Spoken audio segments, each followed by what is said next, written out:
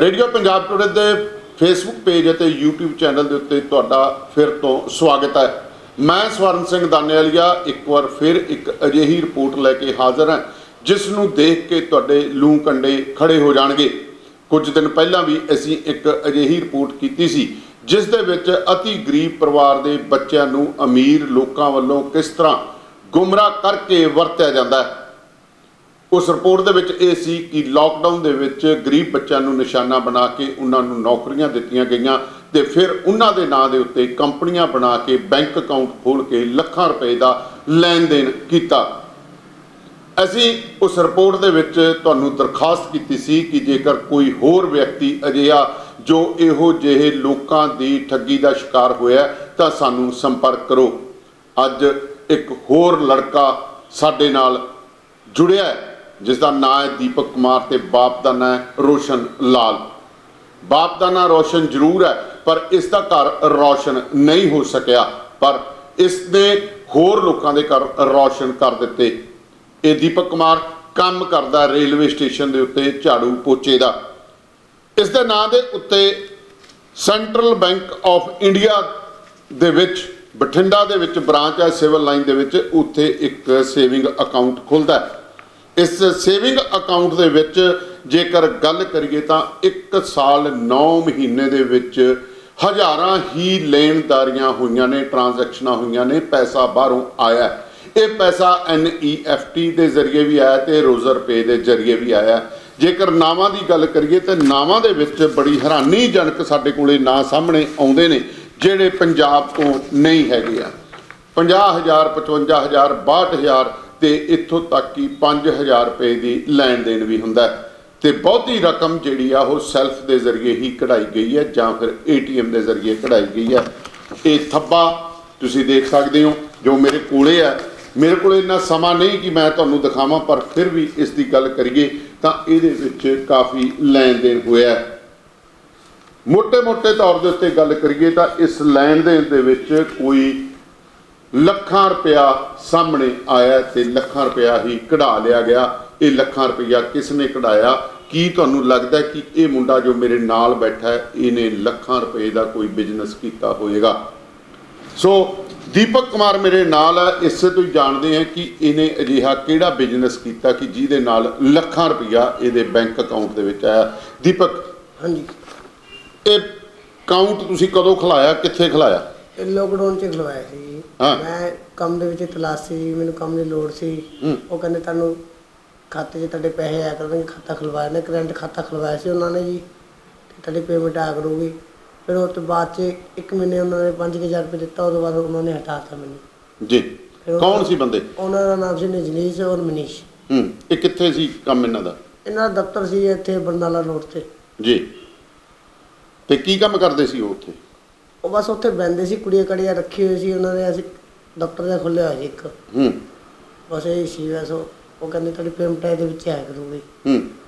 ਬਸ ਇੱਕ ਵਾਰ ਦਿੱਤਾ ਸੀ ਉਹਨਾਂ ਨੇ ਸਾਈਨ ਮੇਰੇ ਨਾਲ ਤੋਂ ਸਾਈਨ ਸਿੱਖ ਲਏ ਉਹਨਾਂ ਦੇ ਆਪਣੇ ਆਪ ਚੈੱਕ ਕਢਵਾਉਂਦੇ ਸੀ। ਏਟੀਐਮ ਔਰ ਚੈੱਕ ਬੁੱਕ ਉਹਨਾਂ ਦੇ ਕੋਲ ਹੀ ਸੀ ਸਾਡੇ ਕੋਲ ਕੁਝ ਨਹੀਂ ਸੀ ਬਸ। ਉਹੀ ਕਢਵਾਉਂਦੇ ਸੀ ਸਾਰਾ ਕੁਝ। ਉਹੀ ਕਢਵਾਉਂਦੇ ਸੀ। ਹਾਂਜੀ। ਤੂੰ ਕਿੰਨੀ ਦੇਰ ਕੰਮ ਕੀਤਾ ਉਹਦੇ ਕੋਲ? ਮੈਂ ਉਹਨਾਂ ਦੇ ਕੋਲ ਜੀ ਤਿੰਨ ਮਹੀਨੇ ਕੀਤਾ ਜੀ ਇੱਕ ਮਹੀਨੇ ਤਨਖਾਹ ਦਿੱਤੀ ਉਹਦੇ ਬਾਅਦ ਮੈਨੂੰ ਦਿੱਤਾ ਨਹੀਂ ਕੁਝ ਫਿਰ ਉਹਨਾਂ ਨੇ ਮੈਨੂੰ ਫੋਨ ਫੋਨ ਨੰਬਰ ਲਿੱਤਾ ਸੀ ਉਹਨਾਂ ਨੇ। ਫਿਰ ਫੋਨ ਨੰਬਰ ਵੀ ਉਹਨਾਂ ਨੇ ਬੰਦ ਕਰਤਾ ਮੇਰੇ ਵਾਲਾ।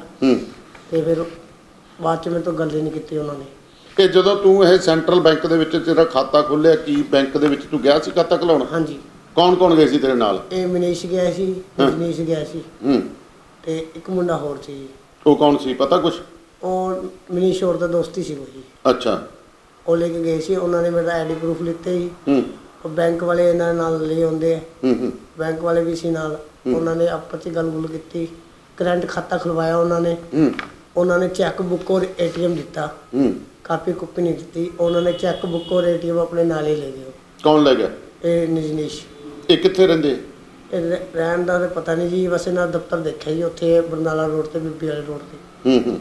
ਉੱਥੇ ਸੀ ਦਫ਼ਤਰ ਜੀ। ਅੱਛਾ ਇੱਕ ਚੀਜ਼ ਦੱਸੋ ਕਿ ਦੇਖੋ ਹੈਰਾਨੀ ਦੀ ਗੱਲ ਹੈ। ਤੁਸੀਂ ਜਮਤਾਰਾ ਸੁਣਿਆ ਹੋਣਾ ਪਿਸ਼ਿੰਗ ਹੁੰਦੀ ਹੈ, ਕਿਵੇਂ ਠੱਗੀਆਂ ਵੱਜਦੀਆਂ ਨੇ, ਕਿਵੇਂ ਇੱਕ ਦੂਜੇ ਦੇ ਨਾਂ ਤੋਂ ਅਕਾਊਂਟ ਦਰ ਅਕਾਊਂਟ ਪੈਸੇ ਟਰਾਂਸਫਰ ਹੋ ਜਾਂਦੇ ਨੇ।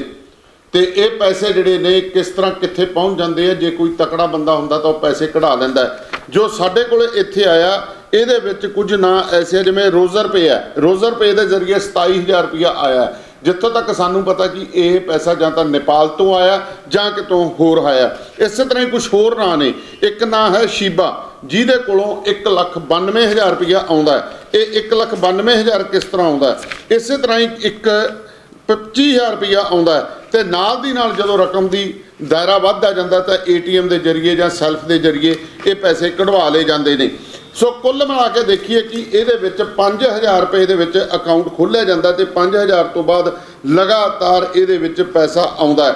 ਕੀ ਬੈਂਕ ਨੇ ਇਸ ਵਿਅਕਤੀ ਦੀ ਸ਼ਕਲ ਨਹੀਂ ਦੇਖੀ? ਕੀ ਇਹ ਕਰੰਟ ਅਕਾਊਂਟ ਖੁਲਾਉਣ ਵਾਲਾ ਹੈ? ਕਿ ਬੈਂਕ ਅਧਿਕਾਰੀਆਂ ਨੂੰ ਇਹ ਨਹੀਂ ਪਤਾ ਸੀ ਕਿ ਜਿਹੜੇ ਵਿਅਕਤੀ ਇਹਦੇ ਨਾਂ ਤੇ ਆਏ ਨੇ ਉਹ ਇਹ ਤੋਂ ਕੀ ਕਰਵਾ ਰਹੇ ਨੇ?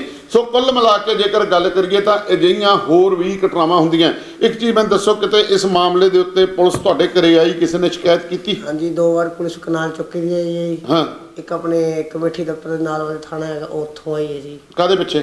ਵੀ ਤੁਹਾਡੇ ਤੇ ਪੈਸੇ ਆਏ ਤੁਹਾਡੇ। ਹਾਂ। ਅਕਾਊਂਟ 'ਚ ਤੇਰੇ 32 ਲੱਖ ਰੁਪਏ ਰੋਲਾ ਹੈ ਜੀ। ਹੂੰ। ਉਹਨਾਂ ਨੇ ਮੈਨੂੰ ਸਟੇਸ਼ਨ ਤੇ ਚੱਕ ਲਿਆ ਫਿਰ ਉਹ ਕਰੇ ਜਿੰਨੇ ਜਿ- ਜਿਨ੍ਹਾਂ ਨੇ ਤੇਰਾ ਖਾਤਾ ਖੁਲਵਾਇਆ ਹੂੰ।